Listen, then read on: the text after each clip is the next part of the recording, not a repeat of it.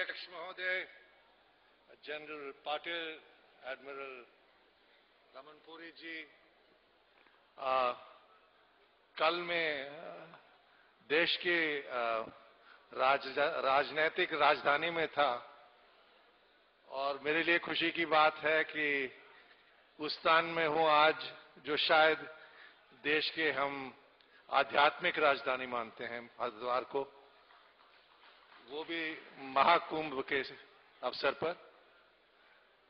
मुझे यहाँ ये आदेश दिया गया है कि अंतर्राष्ट्रीय समस्याओं को ध्यान में रखते हुए हम अपनी सुरक्षा के लिए, अपनी खुशहाली के लिए किन किन कस्मों, किस्मों के चुनौतियों का सामना कर रहे हैं और उन्हें सामना करने के लिए हमें क्या नीति क्या साधनों की ज़रूरत है?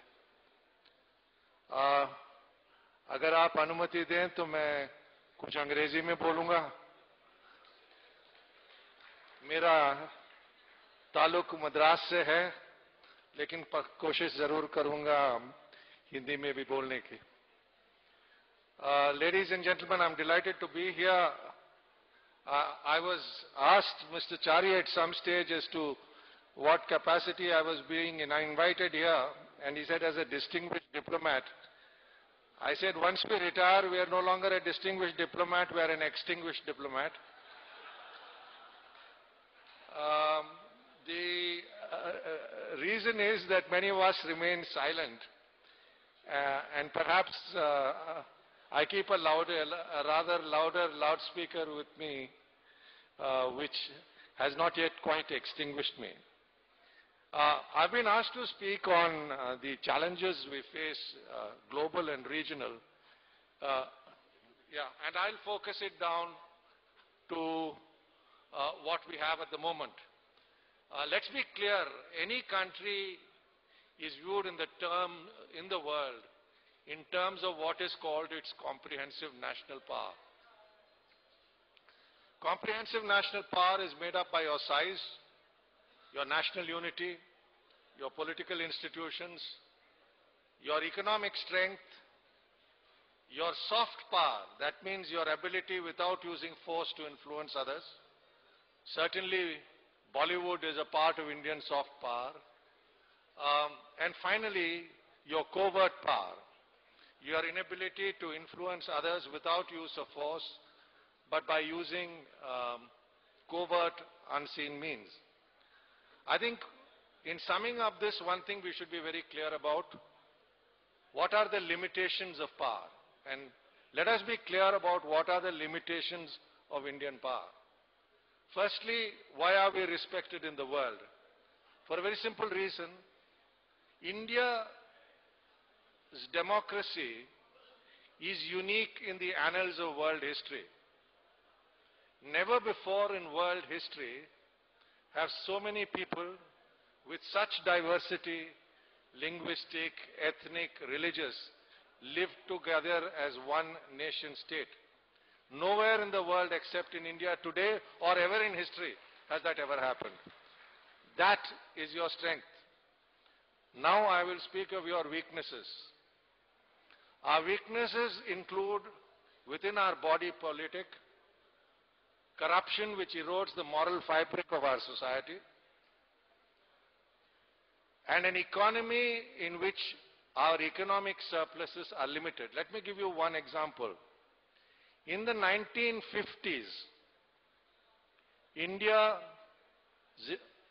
per capita income was roughly the same as China as our neighbors in Southeast Asia. Today, China's per capita income is three and a half times that of India. One other little figure, our role in world economy. India's foreign trade barely constitutes 1.5% of world trade. India's total exports are less than 70% of China's trade surplus with the United States. So when we measure Indian power and ability to influence others, I think it's important to realize our limitations. the um, world today, if you ask me, is shaped by a number of factors. A, a predominant United States with declining, relatively declining influence. An emerging Asia, which in the next 20 years or the next 30 years is going to lead to a situation that the balance of economic power in the world is shifting from the Western world back to Asia. The situation which prevailed in the early 18th century is returning. I was in London recently and a Britisher tried to lecture me and I made a point, an interesting point to him. I said, look, you guys took us over not by conquest, but by the East India Company. You bought us. Today, Indian investment in the United Kingdom is larger than the United Kingdom investment in India. So I told him we are back to the 18th century. So I think this is a transformation which is taking place and that is why to consider ourselves today as a big daddy in the world is premature. We certainly are an emerging power but lack the economic clout to deliver. But it is happening. As I said, you are seeing uh, Indians buying up uh, huge numbers of concerns abroad, investing abroad in various sectors. In this world order, I think the most serious problem we we do have, first of all, an unstable neighborhood. And historically, problems of borders and so on have remained. We face a genuine challenge from China. I don't call it a threat, but a challenge. China will not grant India strategic space to grow its influence in the world. It will do so in a very simple manner. Transfer weapons and technology to Pakistan and get you tied up in South Asia. So when you're, remember, when you're dealing, I was telling a Western audience, when we are dealing with Pakistan, you're not dealing with the Pakistani nuclear program. You're dealing with the Chinese nuclear weapons program in Pakistan. That is the challenge uh, that we are faced with. Within our neighborhood, I think in the last 20 years, we have made substantive progress because apart from China, India is today the fastest growing economy in Asia. It is likely to remain so at least in the coming decade or two. The other point is that we are now uh, in a situation where the other economies are getting, more closely integrated with us, uh, particularly in South Asia because of SAARC and the SAARC free trade area. You find, for example, in Sri Lanka, the largest investors are India.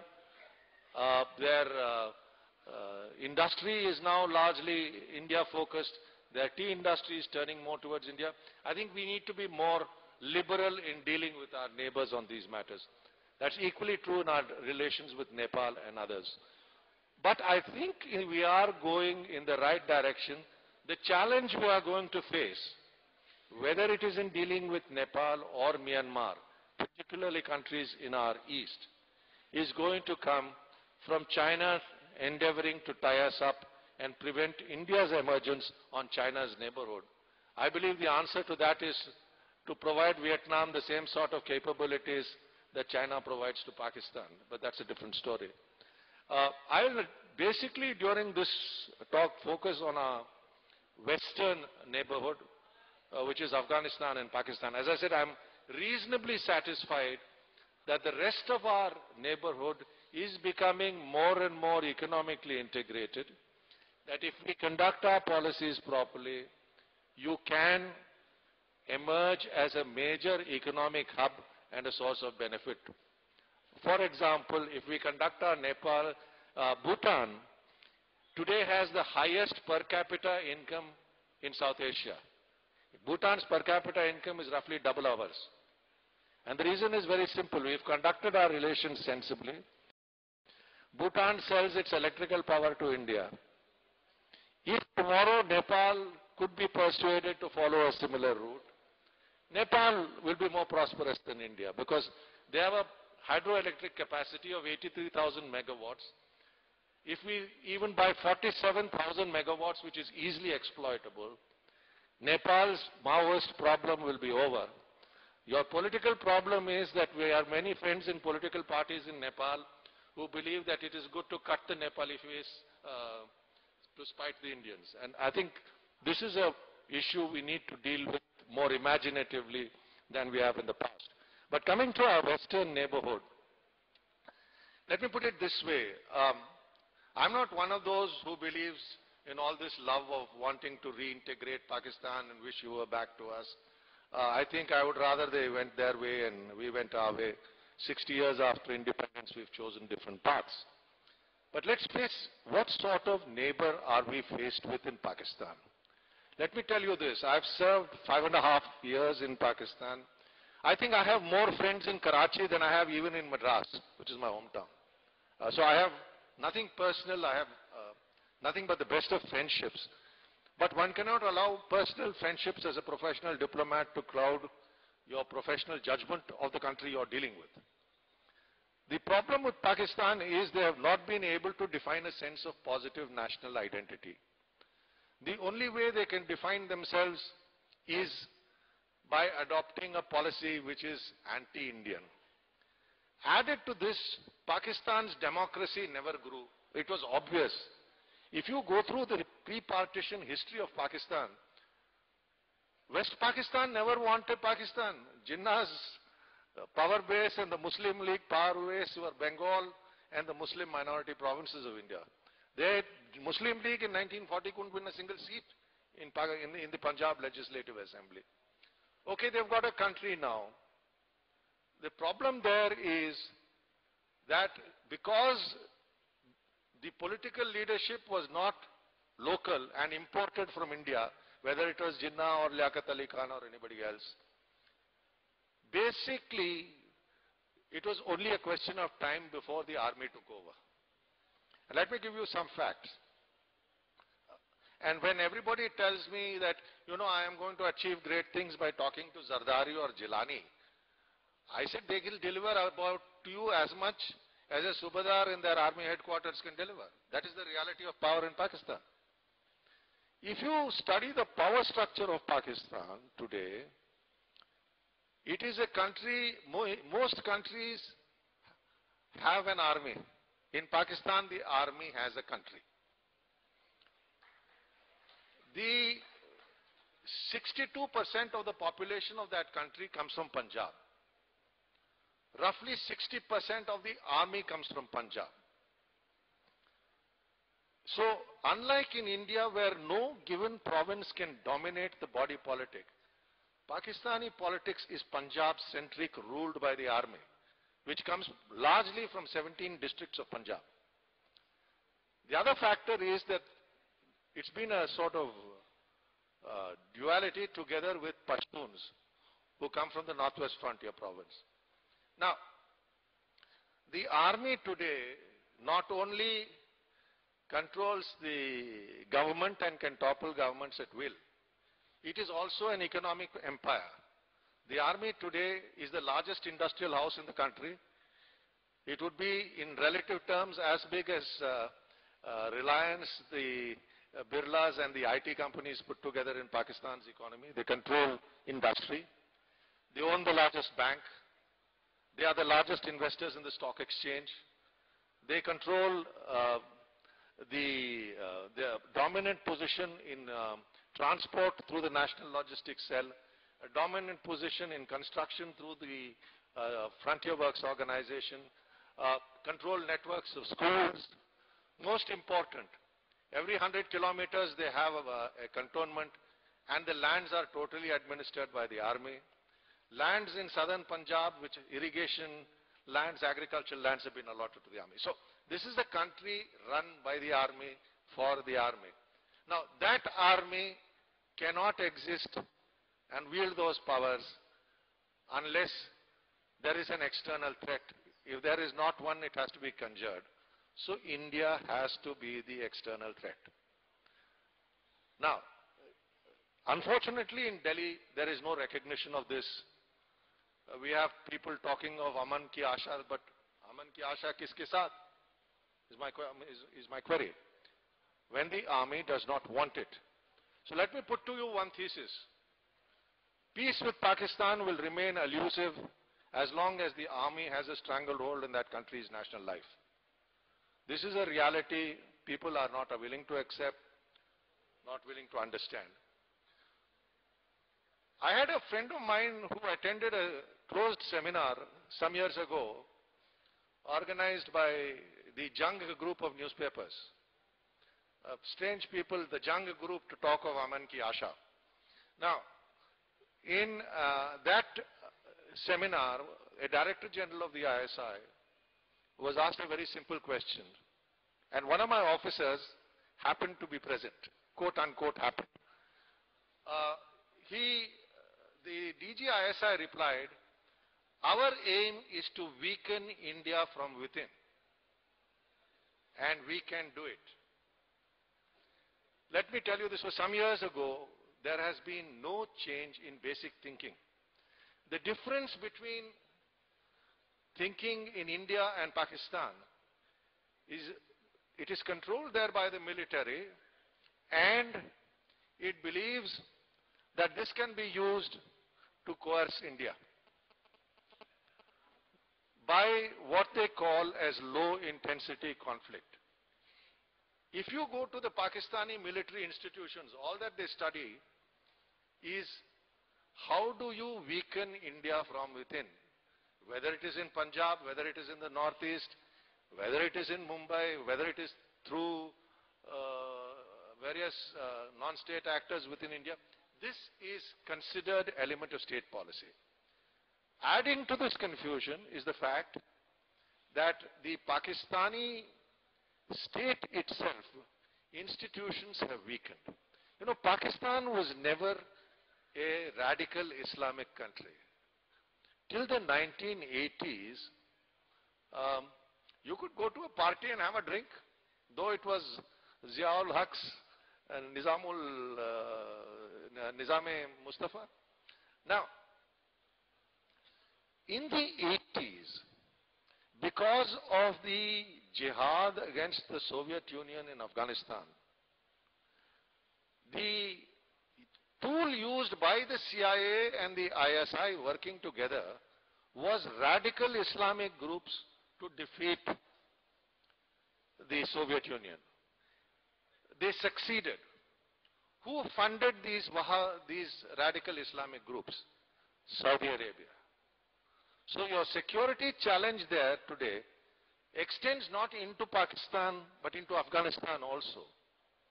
Now it is a different matter that the radical groups that the CIA and the ISI jointly funded uh, turned against Pakistan. Turning, coming to an end. Should I end or? Uh,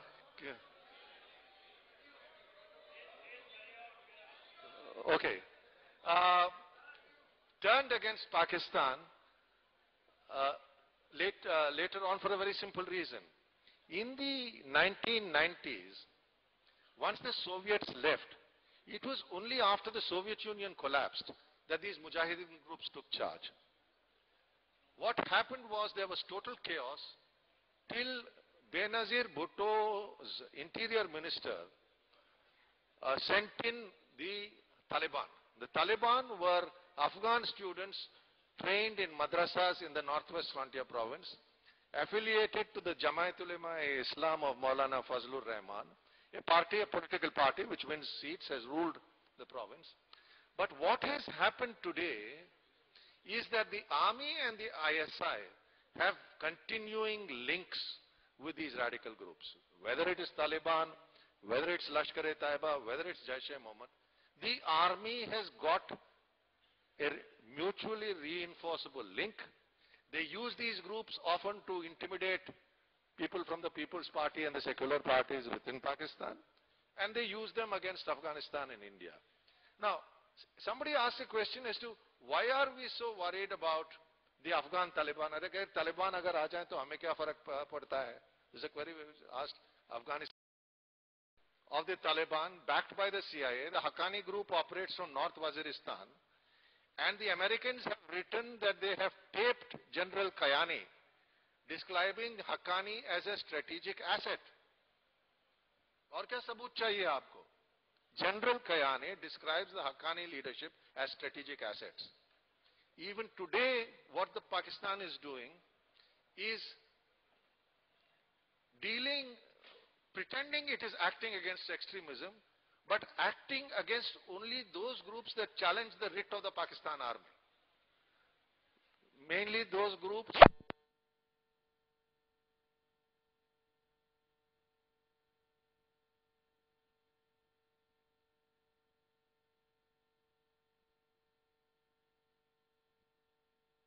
security is being threatened by radical Islamic groups operating out of Pakistan, out of Afghanistan, with the connivance of the state authority of Pakistan, which is the Pakistani military. It's not just ISI, it is the entire military operations, military signals, military communications, everything is thrown in. But the Pakistan army today is faced with a two-front situation. The Americans are squeezing them on the Afghan border. The Americans are not going to help you beyond a point. They will provide you evidence, Uh, intelligence inputs and so on, but ultimately on this we are on our own. Now, I told you that Pakistan strategy has been based on making use of weaknesses in the Indian setup. Therefore, there are two prongs to this strategy.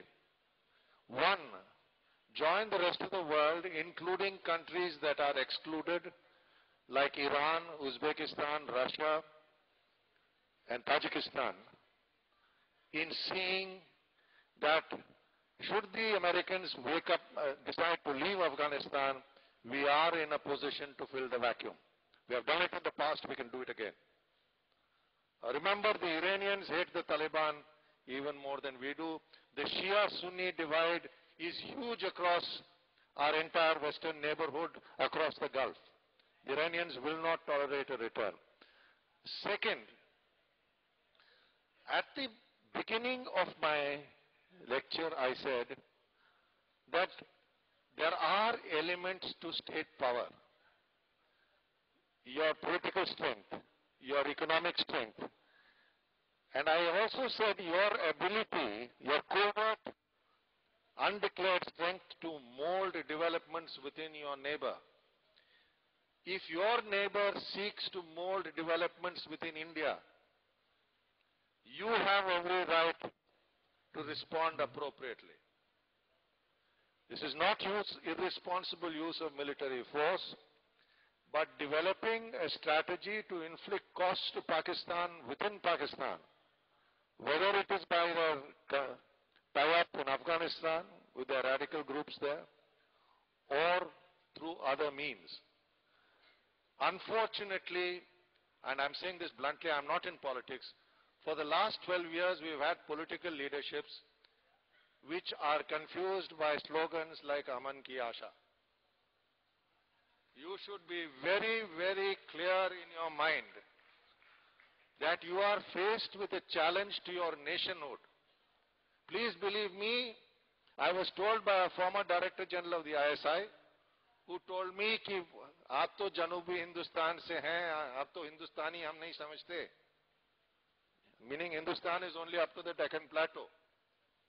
That हम माहौल आपके मुल्क के अंदर बिगाड़ सकते हैं The larger aim is to disrupt communal harmony in this country. Let us recognize this very, very clearly. And when I go back to what I said, India's greatest achievement is to be able to build a society which transcends religious, ethnic, and linguistic differences. Civil society and nation building institutions don't depend on the politicians. Politics is made on being divisive has a responsibility to ensure that this Pakistani aim does not succeed. So I think this is it. Second, I think the extent of our propaganda thrust has been weak. If the Prime Minister of India sheds tears for Pakistan being a victim of terrorism, if responsible officials of the government of India say terrorist attacks are carried out by non-state actors, if after we reach a, uh, a conclusion that dialogue will, will commence, which was what the Vajpayee-Musharraf declaration was. After Pakistan assures us that terrorism will not be used from its territory, if you have suddenly a change of policy saying the dialogue is irreversible and will not be affected by terrorism, if I'm the ISI, I'll have a party. Now, what I'm saying is the need for, firstly, civil society working together to see that the aim of disrupting communal harmony or even ethnic harmony in distant places like Assam are not affected by external interference. And secondly, inflicting a cost on Pakistan which makes it too costly. One last point. I'm not a believer in the indiscriminate use of military force. But you have to have a deterrent military capability. If every year the government surrenders over 10,000 crores because it cannot get equip our armed forces with weapons, there is something wrong in our system of defense acquisitions. Uh, Raman Puri is a greater expert on that than I am, but there is something wrong and this transcends governments. Do you know out of fear of Bofors, the army has not received artillery worth its name for the last 20 years? Do you know that 20, or roughly 30 of our 45 squadrons of the Air Force are operational? Is this how a country which hopes to have a deterrent maintains its defense forces? I think these are issues we need to address. I am sure you will. But in an ultimate analysis, I have faith in the strength and resilience of our system. It's good to be back in Hardwar and renew one's spiritual links. Uh, it's good to believe that we can tide over this. We need not get unduly worried but at the same time, I don't think turning the other cheek constantly pays. Thank you.